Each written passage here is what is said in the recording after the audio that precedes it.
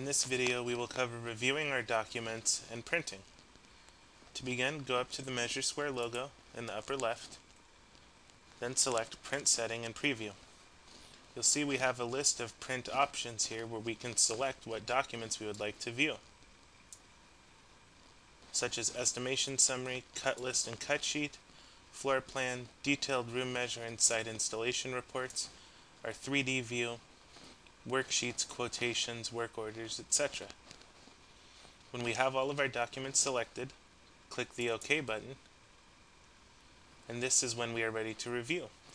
You'll see that we have our packet assembled, starting with our estimate summary, then our cut sheet and list,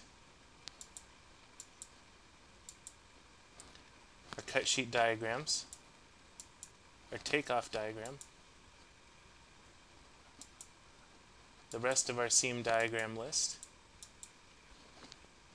any room condition notes, our worksheet, our quotation page, and our invoice. If we would like to print these to a hard copy, we can select the print button located in the upper left. If we would like to print to a PDF so that these can be emailed, select Print to PDF, name our file accordingly, and click Save. The program will take a few moments to convert our documents to a PDF to review before we send off.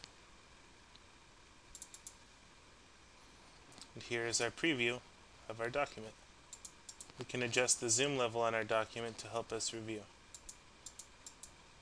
Once we are done reviewing our document, we can then attach the PDF file to an email to be sent either to a customer or to someone else in our office.